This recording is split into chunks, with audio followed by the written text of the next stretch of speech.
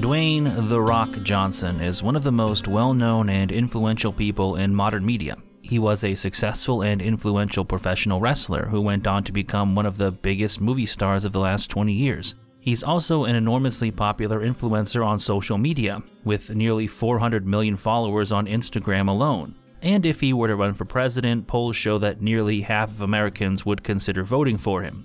In short, Johnson is a ubiquitous figure in pop culture who is almost impossible to avoid. But there is a question about The Rock that simply can't be ignored. For years, rumors and speculation have swirled around him, and many people believe that at his age, his physique cannot be achieved or maintained naturally. With his brand increasingly being tied to his physique and his physique continuing to push boundaries year after year, the speculation only grows, and it shows no sign of stopping anytime soon. Before we delve too deeply into the rumors and speculation about Johnson, I think it's worth briefly going over how his physique has changed over the years, because it's rather interesting. If you look back to the time before his professional wrestling career when he was attempting to be a football player, you can see that he was a relatively big guy, it's not entirely surprising when you look at his father and his maternal grandfather, who were both large gentlemen. Johnson clearly has good genetics for size and athleticism. When he took up pro wrestling, he seemed to lose a little bit of the size, though. He also looked softer than he would in later years. Over the next half a decade or so, Johnson slowly and progressively leaned out, to the point that by the early 2000s he had some abs, as well as relatively noticeable definition in his shoulders and chest. 2001 was a particularly important year because this was the year that Dwayne would make his big screen debut as the Scorpion King in The Mummy Returns. It was a pretty minor role, and he's mostly just a giant CGI man scorpion monster, but it was soon followed by a role as the main character in a full length movie about the Scorpion King. His physique didn't change much for this role, but if anything, I'd argue he put on a little weight and got a little less lean. Where this gets interesting is the next five years or so you can actually see Johnson get progressively smaller, and not just getting leaner or more shredded. He's clearly losing mass. This downsizing is the most notable by around 2006 or 2007, specifically in the movie The Game Plan, Dwayne looks considerably smaller in this role. In particular, his neck and traps seem to be much reduced in comparison to what they looked like before, but especially when compared to the Ninja Turtle like traps he has these days, which must make it extremely difficult to find shirts that fit. His entire face also seems thinner, to the degree that if you do a side by side comparison with recent pictures of him, he looks almost unrecognizable. Looking at The Rock from the 2006 to 2007 era, I could be convinced that he's natural, he doesn't look abnormally large here. He kind of just looks like a guy in his 30s with good genetics who lifts regularly. And I have a theory for why. During this period of time, and basically up until 2010, Johnson wasn't taking many action roles. He was only in three action movies The Rundown, Walking Tall, and Doom. Most of his roles were either dramas or comedies, and I wonder if he downsized to appear less intimidating for said roles. Johnson more or less confirmed this in later years, saying that when he got into Hollywood, he was told that he was too big and that he wouldn't make it if he kept his pro wrestling physique and persona. It's important to note that by this time, Johnson was already in his mid 30s, which is the point at which you've already hit your physical prime and things like testosterone levels begin to decline. But this is where it gets even more interesting, because as the late 2000s came and went, Dwayne started getting bigger again. So that by 2010 and 2011, he was arguably bigger than he had ever been up to that point. To lend further support to my theory about why Johnson downsized in the mid 2000s, his subsequent growth coincided with an increased number of roles in action movies, particularly joining the Fast and Furious franchise. This trend culminated in 2013 with the Michael Bay movie Pain and Gain, where Dwayne played a fictionalized version of famous bodybuilder Leonard Person, aka Big Lenny. Kidding aside, Johnson put on a significant amount of size for this role. Some of this is likely what is referred to as fluff, as he was lacking some definition. But just in terms of sheer size, I think this is the biggest he's ever been. And especially pronounced are his chest, shoulders, traps, and neck. Just compare his neck in these images to the shots from the game plan. It's night and day, and it's important to remember that he did this after 40 years old. More importantly, I think this was the moment when people started to notice Johnson's transformation. I remember back in the day, these pictures went a bit viral and people were talking about just how big The Rock had become. In my opinion, this is also the point where Johnson's physique starts to become the focal point of his career. Following Pain and Gain, he would star in Hercules, where he spent most of the movie either shirtless or wearing something without sleeves. The lion's share, pun intended, of his roles since the mid 2010s have been action movies where he plays muscular guy who does something, muscular guy who chases Vin Diesel, muscular guy who flies a helicopter, muscular guy who trains a giant albino gorilla, muscular guy with a prosthetic leg, etc. This has created a bit of a sticky situation though. Unlike other actors who beef up for a role, Johnson can't just drop the weight afterwards. Since he is kind of just playing The Rock in most movies, and a major facet of The Rock is being jacked, he basically has to be like this full time. He has to maintain this physique, if not improve it. As he gets older, this becomes increasingly hard to believe, especially because he seems to be pushing his physique even further in recent years. It gets even more outlandish when you hear Johnson say that he's prioritizing longevity. My priority is longevity. I don't think anyone with any understanding of health or medicine would tell you that being nearly 280 pounds ripped would be good for your long term health. The amount of mass is simply taxing on your entire body. If Johnson was prioritizing his health and longevity, he'd probably downsize back to his more svelte physique of the mid 2000s, rather than trying to get bigger and more ripped. This is where we get into the myth building of The Rock's persona, and it starts with his diet. Uh, you haven't had candy since 1989. I d- Dwayne is, is so funny. He calls himself Rock Jemima in the kitchen. because when you talk about The Rock, his seemingly superhuman diet and workout regime is always at the forefront of the discussion. What The Rock eats, or at least what he says he eats, has stayed pretty consistent for about 10 years now. My diet has honestly pretty much remained the same for the past five to 10 years.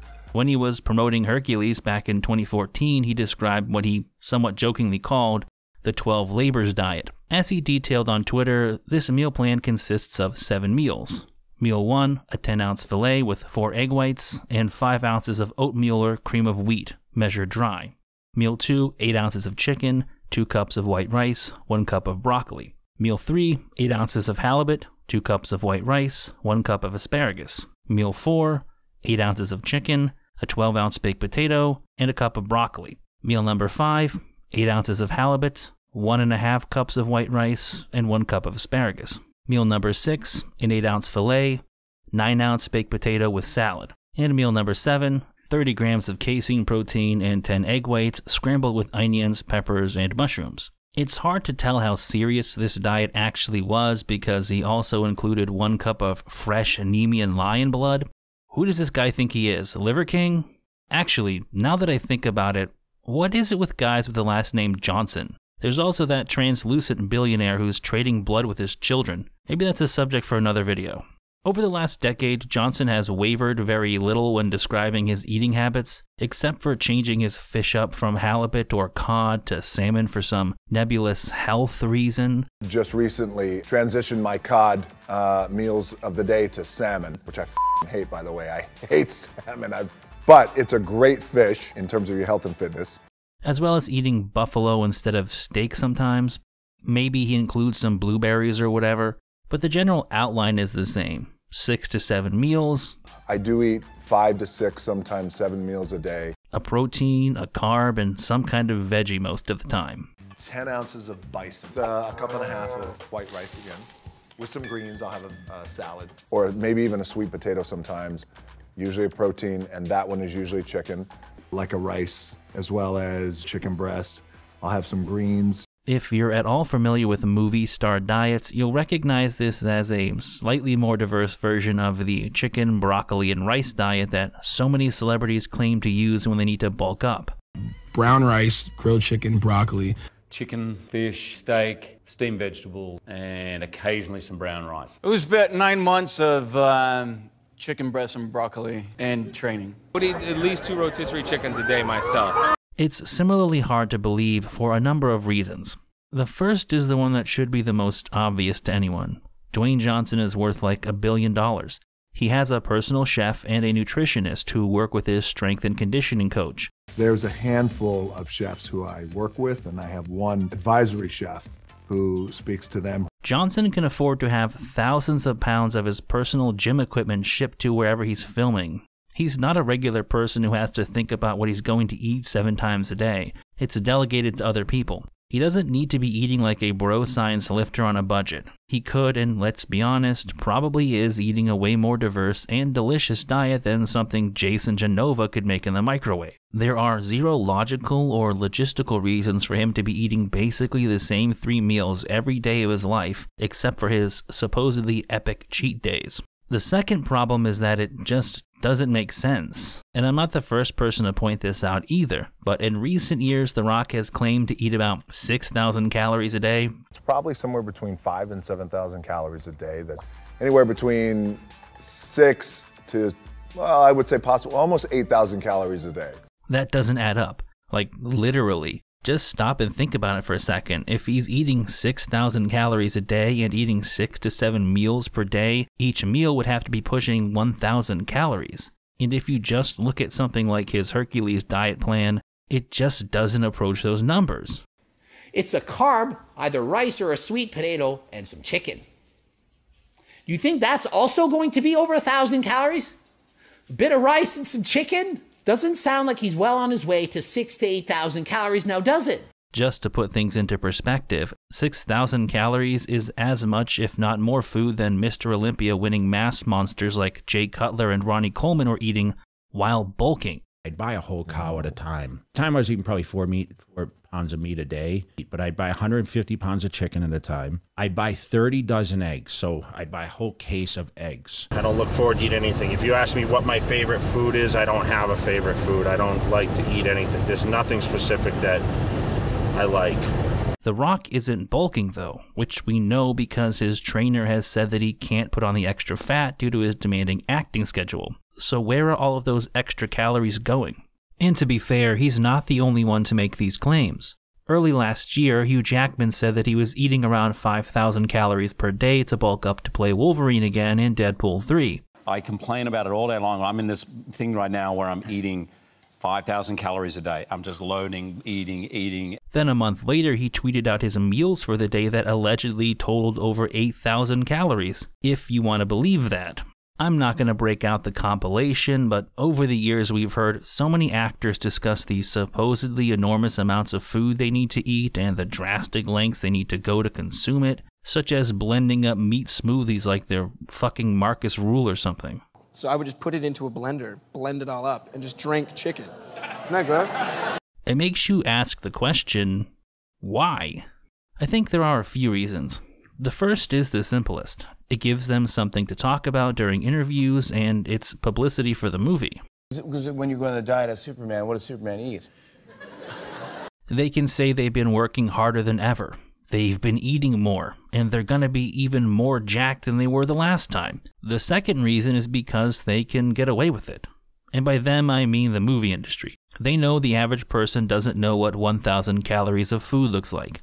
Never mind 8,000 calories of healthy food. And you can even fudge the numbers with those crazy epic cheat meal days that kind of just look like normal if slightly decadent meals. I mean, we're not talking about Brian Shaw wood chippering over 23,000 calories in a day. It's like two burgers and some fries, or a large portion of sushi. The average person heard one time 10 years ago that Michael Phelps ate 10,000 calories worth of Subway sandwiches every day to win the Olympics. So why wouldn't The Rock be eating 6,000 calories to play a comic book character? Even assuming he really was eating 6,000 calories a day, the question is still why? What is he doing that requires him to eat that much? This is where we cross over into Johnson's workouts.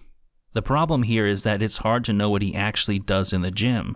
There is a lot of footage of The Rock training, but it's difficult to say whether they're really part of his routine or if it's just something flashy or different for Instagram. If you Google The Rock's workout plan, you'll come across countless breakdowns from official and unofficial sources, going back over a decade. Similar to his diet, it's hard to know what to make of any of these workout plans because, while they may look normal at first glance, they begin to make less sense when you look at the details. For reference, I'm going to use the workout plan Johnson used to get into shape for Black Adam. First, because this information came out fairly recently. Additionally, I think this is the craziest his physique has ever looked. He's as close to his peak size as ever, but also considerably more defined. Johnson also claimed that this was the hardest undertaking of his career.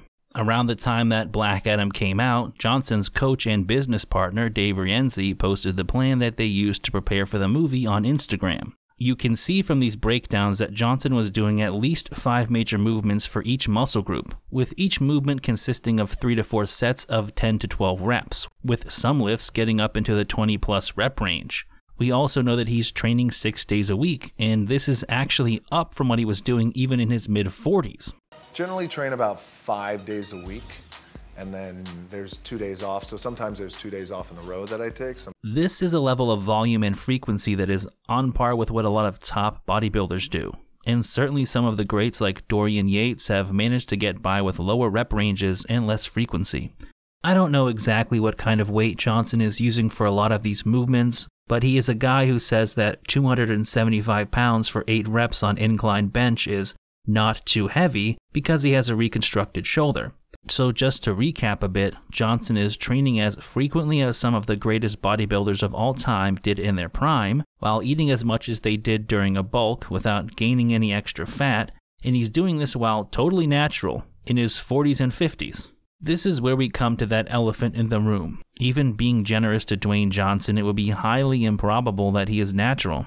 Yes, he obviously has good genetics. He's also definitely a hard worker who spends a lot of time in the gym. But no matter how good your genetics are and how hard you work, there are limitations to the human body. You simply don't peak in your late 40s and early 50s without some kind of assistance, especially if you were already in incredible shape to begin with. And by his own admission, he's had numerous injuries over the years. I'm like the bionic man. I've got surgery, surgery, surgery, surgery.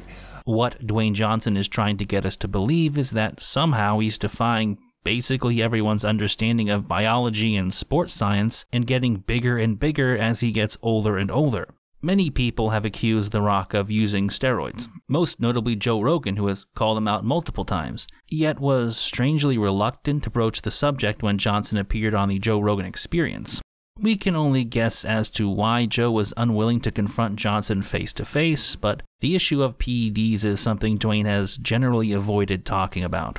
One of, if not the only times he has spoken on the issue was during an interview from 2009, in which he admitted that he and his friends experimented with steroids in their late teens when they were football players.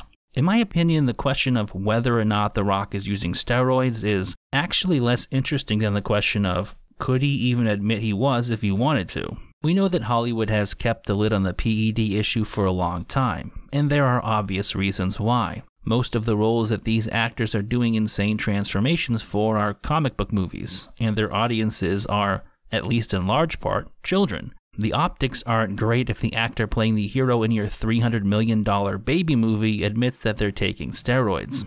I think it's inevitable that this wall will start breaking down at some point, though. When so many of the people going through these superhero body transformations are increasingly in their 40s and even 50s, they can't avoid the issue forever. We've seen a small number of actors, such as Alan Ritchson, admitting to using TRT to achieve the body he had in Jack Reacher. He's also gotten even bigger for season 2, so you can come to your own conclusions about whether that's all he's taking, though. As it becomes more and more normalized to manipulate your hormone levels like this, I think it's just a matter of time before these aging stars begin to come out and admit to using HRT. For The Rock, I think it's a bit more complicated. There was probably a window for him, sometime 8 to 10 years ago, where he could have come out and said that he was starting some form of HRT as he was getting older. And I honestly doubt anyone would have really cared. However, he's waited so long that he's kind of painted himself into a corner here. So much of Johnson's brand has become about hard work. He calls himself the hardest worker in the room. We got a saying, which is you want to be the hardest worker in the room, but you also want to be the smartest worker. A term which has even made it into his Project Rock apparel. As I said earlier, he obviously does work hard. You can't look the way he does without working hard and being extremely dedicated. But you also can't look like The Rock for a number of other reasons. He's incredibly wealthy. He has access to resources you couldn't dream of that make things much easier for him. I generally set up a gym, a private gym, rent out the warehouse, rent the equipment, ship the equipment. It's just so by the time I, I, get into the location and I'm ready to work, it's it's a turnkey operation. Personally, I think that's why he tries to put forward such a Spartan image when it comes to things like his diet and workouts. It is to convince people that they can achieve it too if they just work hard enough. You just have to get up at 3:30 a.m., lace up your Project Rock shoes, have a ZOA energy drink and step into the iron paradise. For The Rock to admit he's been enhanced or to say he's going to start taking something now would kind of be a betrayal to the people who have bought into his message. It does make me wonder though. You can make the argument that Johnson has been a net positive, regardless of whether you believe he's natty or not. His philosophy has inspired potentially millions of people to improve their health and fitness. But it is also a double edged sword to tell people that they can do anything if they just work hard enough. You can't. It also takes genetics, innate talent, and sometimes just sheer luck. When people run up against the wall of reality, they often end up discouraged or feel like a failure because they didn't quote unquote work hard enough. I'm not saying The Rock specifically is responsible for everyone's insecurities or frustrations, and he's not as bad as someone like Chris Hemsworth, who actually sold a fitness app based on his physique but it's still part of a systemic issue plaguing the fitness industry, social media, and the entertainment industry, and he does have a part in that. Even if you genuinely believe that Johnson is natural, he's still cultivating an image that doesn't represent reality, one that gets harder and harder to believe with each passing year. If nothing else, it makes you wonder how long he can keep this up. I mean, let's look 10 years into the future. Is he going to be doing this in his 60s? Is he going to be doing it in his 70s? How much will he weigh by then? 400 pounds? How many calories will he be eating? Or 9,000 or 10,000? Will he claim he's working out 8 days a week like Hulk Hogan saying he wrestled 400 days in a year? And at what point does the general population's appetite for this dwindle? When do they go, okay, Dwayne, enough is enough? I don't know. As I said at the beginning, Dwayne Johnson is one of the biggest figures in all of modern pop culture. He's a juggernaut, and it's almost unfathomable to think that he will stop or even slow down anytime soon. Realistically, how could he stop if he even wanted to? What is the off ramp for this perpetual cycle of constantly trying to one up himself or find those higher gears? As much as he's setting these unrealistic standards, he's also being held to them, or more accurately, being made to one up them. So I asked them to remove the muscle padding. Plus, also, I was putting in a lot of work. I wanted to transform my body for the role. Mm-hmm. He's now stuck in this feedback loop where his career is based on his physique, and his physique has to keep getting bigger to sustain it. How many franchises is he a part of? How many brands is he associated with or outright owns?